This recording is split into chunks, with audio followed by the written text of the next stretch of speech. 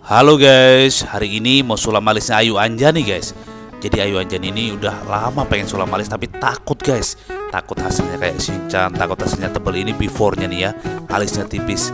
Jadi Ayu Anjani ini udah pengen sulam dari dulu guys Tapi takut, ya mungkin sama ya Seperti teman-teman pengen sulam alis tapi takut hasilnya kayak Shinchan Takut tebel, takut kotak.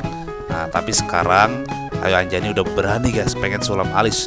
Katanya supaya nggak repot gambar alis setiap hari guys. Karena kalau mau pergi-pergi kan teman-teman pasti repot banget ya gambar alis setiap hari.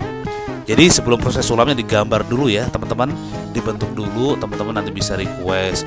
Jadi dioles anestesi juga ini jarumnya juga baru ya. Sebelum pengerjaan teman-teman diperlihatkan jarumnya masih baru masih segel.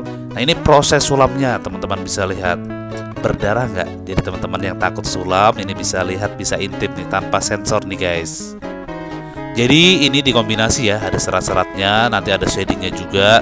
Jadi tujuannya supaya kelihatan lebih padat, kelihatan natural ya teman-teman. Jadi teman-teman yang takut sulam alis hasilnya ngeblok kayak sinchan, takut tebel banget, takut hasilnya kotak, wajib lihat ini guys. Jangan lupa teman-teman ya follow Instagram, follow TikTok Roshi di Sulamas Jakarta banyak hasil hasilnya. Ini hasilnya guys. Sekarang udah kelihatan lebih rapi ya teman-teman.